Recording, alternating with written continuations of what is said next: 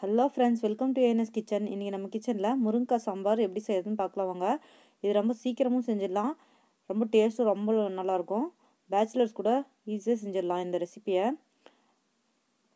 இது எப்படி செய்யறதுன்னு பார்த்துலாம் வாங்க. இதுக்கு வந்து நல்லா மூணு கைப்பிடி அளவு துவரம் பருப்பு எடுத்திருக்கேன். இந்த மாதிரி நல்லா பிடிச்சி பிடியாக எடுத்துக்கோங்க. இது வந்து நல்லா ஒரு ரெண்டு வாட்டி நல்லா கழுவிடுங்க சுத்தமாக கழுவிட்டு தண்ணி சேர்த்திக்கலாம். பருப்பு நல்லா முழுகிற வரைக்கும் நல்லா தண்ணி விட்டுக்கோங்க. மஞ்சள் தூள் ஒரு அரை டீஸ்பூனு ஒரு கால் டீஸ்பூன் அளவு பெருங்காயம். எண்ணெய் ஒரு டீஸ்பூன் சேர்த்திருக்கேன் நான் விளக்கெண்ணெய் சேர்த்திருக்கேன். பருப்பு நல்லா வெந்து வரும். உங்களுக்கு பருப்பு தண்ணியும் வந்து நல்லா குழம்புலாம் இருக்கும் ரசம் வைக்கிறதுக்கெலாம் நல்லாயிருக்கும் ஒரு மூணு விசில் விட்டால் கரெக்டாக இருக்கும்.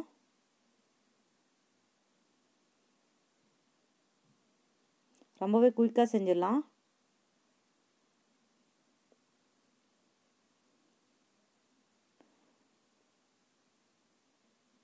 பாருங்கள் பருப்பு நல்லா வெந்துருச்சு. இப்போ அந்த பருப்பு தனியாக தனியாக வடித்து எடுத்துடலாம். வடித்து எடுத்துகிட்டு இப்போ நம்ம பருப்பு கடைஞ்சிக்கலாம். நான் வந்து கொஞ்சோண்டு உப்பு பருப்பு எடுக்கிறேன். எங்கள் இப்போ எங்கள் குழந்தைங்களுக்கு உப்பு பருப்பு பிடிக்கும். இந்த மாதிரி நீங்கள் பருப்பு கடையும் போதுமே கொஞ்சம் உப்பு பருப்பு எடுத்து வச்சுட்டிங்கன்னா நீங்கள் நெய் போட்டு சுடுசாதத்தில் கொடுத்தீங்கன்னா நல்லா விரும்பி சாப்பிடுவாங்க. சத்தும் கூட. பாருங்கள் நல்லா கடை கடைஞ்சாச்சு. இப்போ நம்ம வந்து கொஞ்சமாக எடுத்து வச்சிட்றேன் நான்.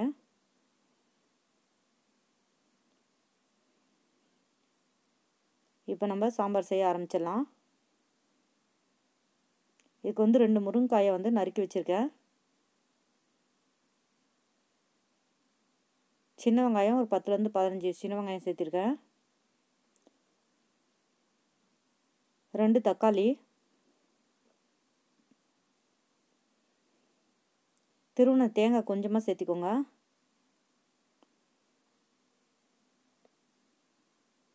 கருவேப்பிலை கொஞ்சம் சேர்த்திக்கோங்க.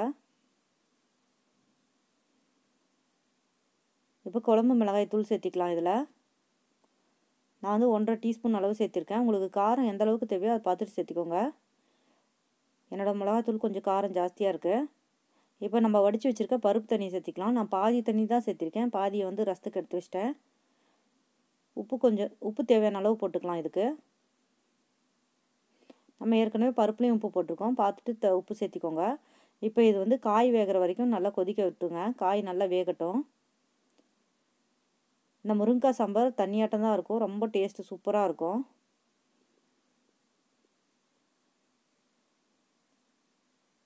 பாருங்கள் காய் நல்லா வெந்துருச்சு. இதுக்கு வந்து நான் புளி ஊற வச்சு வச்சுருக்கிறேன்.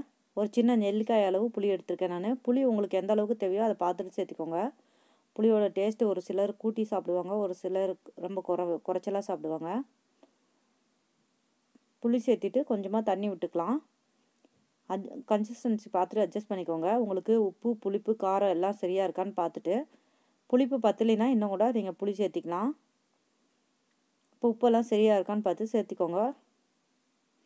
புளி சேர்த்திட்டு நல்லா கொதிக்க விட்டுருங்க.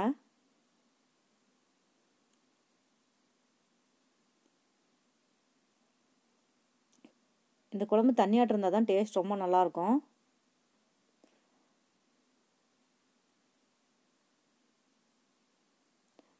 இப்போ நல்லா கொதி வந்துருச்சு. இதுக்கு க கொத்தமல்லி தலை சேர்த்திக்கலாம். குழம்பு ரெடி ஆகிடுச்சு இதை நம்ம தாளிச்சிக்கலாம் இப்போ. எங்கள் அம்மா இதே மாதிரி தான் செய்வாங்க. டேஸ்ட் ரொம்ப சூப்பராக இருக்கும். அதனால தான் எங்கள் அம்மாவோட ரெசிபி இன்றைக்கி வந்து உங்கள் கூட ஷேர் பண்ணியிருக்கேன். இப்போ ரெண்டு டீஸ்பூன் எண்ணெய் சேர்த்திருக்கேன். எண்ணெய் நல்லா காஞ்சதும் வடகம் சேர்த்திக்கலாம். வடகம் இல்லாதவங்க கடுகு கொஞ்சம் சீரகம் சேர்த்திக்கோங்க தாளிக்கிறதுக்கு. வடகம் சேர்த்திட்டு நல்லா பொரிஞ்ச உடனே இதை நம்ம வந்து இப்போ குழம்புல சேர்த்திடலாம். வடகம் தீஞ்சிராமல் பார்த்துக்கோங்க. இப்போ நம்ம குழம்புல சேர்த்திடலாம். அவ்வளோதான். ரொம்ப குயிக்கான ரொம்ப சீக்கிரமும் செஞ்சிடலாம். டேஸ்ட்டும் அதே அளவுக்கு சூப்பராக இருக்கும். முருங்கைக்காய் சாம்பார் ரெடி ஆயிடுச்சு. நல்லா சூடான சாதத்தில் போட்டு சாப்பிட்றதுக்கு அவ்வளோ சூப்பராக இருக்கும். இந்த ரெசிபி உங்களுக்கு பிடிச்சிருந்துச்சின்னா லைக் பண்ணுங்கள் ஷேர் பண்ணுங்கள் கமெண்ட் பண்ணுங்கள் சப்ஸ்கிரைப் பண்ணுங்கள் மறக்காமல் அந்த பெல் சிம்லையும் ப்ரெஸ் பண்ணிடுங்க நன்றி வணக்கம்.